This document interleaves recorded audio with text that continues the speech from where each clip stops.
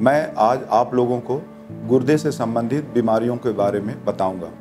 गुर्दे की जो बीमारियाँ होती हैं, वो दो तरह की होती हैं। एक टेम्परेरी गुर्दे की खराबी होती है, एक परमानेंट गुर्दे की खराबी होती है।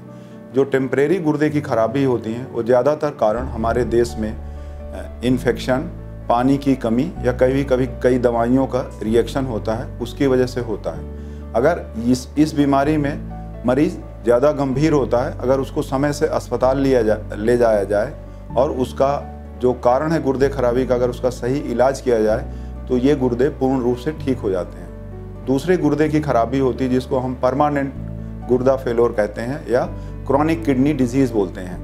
क्रॉनिक किडनी डिज़ीज़ के जो महत्वपूर्ण कारण हैं diabetes blood pressure chronic glomerulonephritis जन्मजात बीमारियाँ और हमारे देश में कई इंडिजिनस मेडिसिन देसी मेडिसिन जो लोग खाते रहते हैं या पेन किलर खाते हैं, उससे हो जाती हैं। परमानेंट जो किडनी खराब होती है, जिसको हम क्रॉनिक किडनी डिज़ीज़ बोलते हैं, वो पाँच स्टेजेस में होती है। Stage one two stage five जब पेशेंट स्टेज फाइव या अंतिम स्टेज में पहुँचता है, तब हमें गुर्दा का रिप्लेसमेंट ट्रीटमेंट करना पड़ता है। शुरू की जो चार स्टेजेज होती हैं, उसमें हम अपनी बीमारी का अगर सही समय से अपनी शुगर का ठीक से इलाज करें ब्लड प्रेशर का करें इलाज और नियमित रूप से कंट्रोल करके अपनी दवाइयाँ खाएँ तो हम एक स्वस्थ जीवन लंबे समय तक मेडिसिन से खा के जी सकते हैं।